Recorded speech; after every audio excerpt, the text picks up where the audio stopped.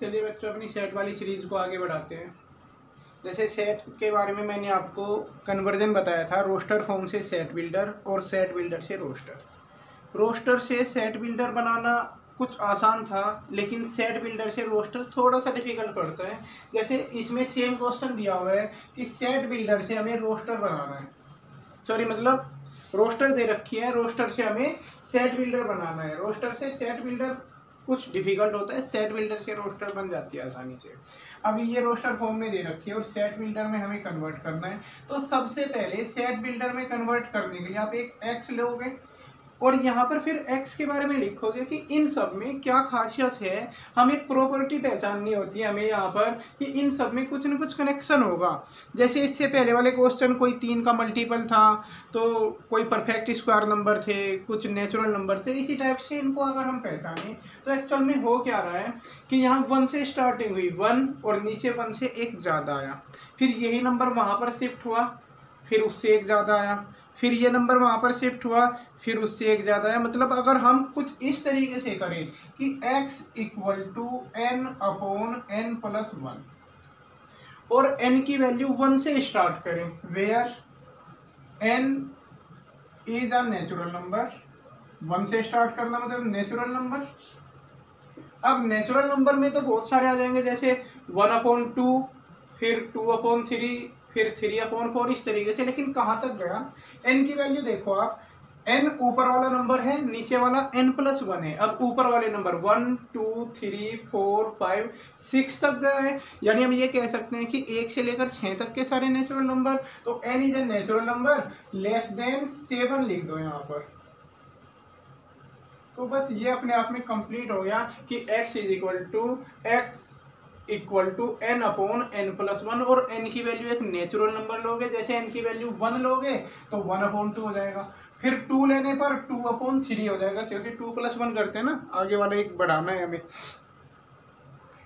तो इस तरीके से था ये, कि आप एक्स को इस फॉर्मेट में भी लिख सकते हो कि जो पर्टिकुलर नंबर है वो इस फॉर्म का चल रहा था यहाँ पर। तो शायद कुछ समझ में आया हो ये। अब क्वेश्चन नंबर फाइव दे रखे हैं एक्सरसाइज के अंदर। जैसे एक्सरसाइज आपकी वन पॉइंट वन है, उसके क्वेश्चन नंबर फाइव में कई सारे पार्ट दिए हुए हैं। कुछ सिलेक्टेड पार्ट में करवा देता हूँ, क्योंकि वो भी कहीं ना कहीं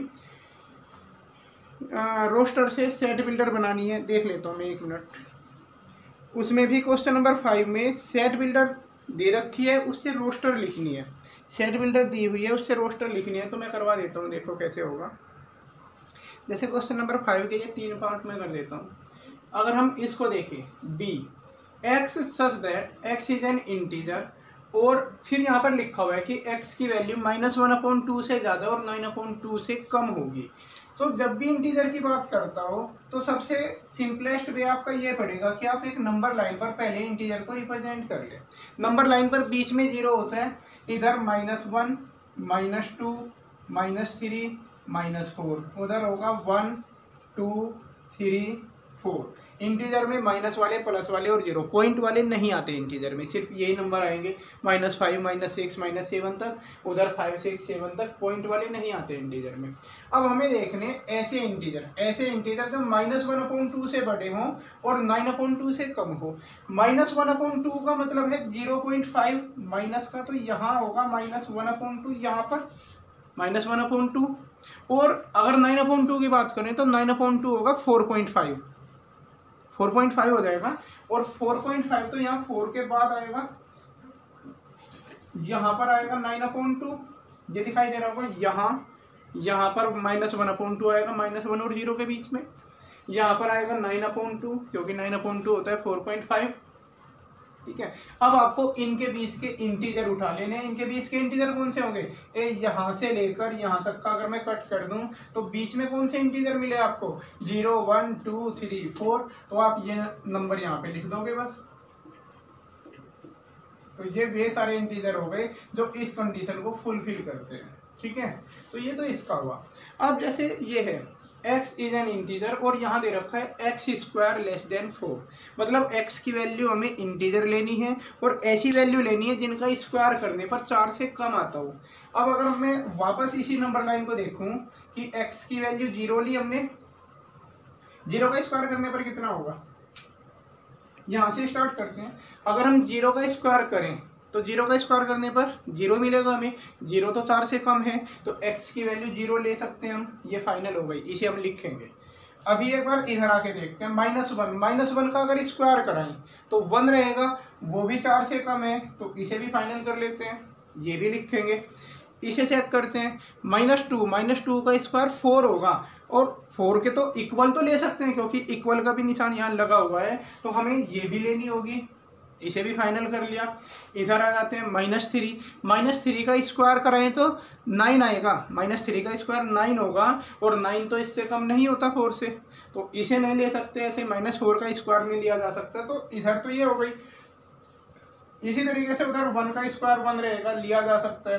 टू का स्क्वायर फोर होगा, इसे भी एक्सेप्ट कर लेंगे। लेकिन थ्री का स्क्वायर एक्सेप्ट नहीं होगा तो यहाँ पर सिर्फ़ ये पाँच वैल्यू आ गई। माइनस टू अगर इसका हम कलेक्शन बनाएँ रोस्टर फॉर्म बनाएँ minus two minus one zero one और टू सिर्फ़ ये पाँच वैल्यू आएँगी इसके अंदर। तो ये ऐसे इंटीजर हैं जिनका स्क्वायर कराने पर या तो चार मिलता है या चार से कम मिलता है।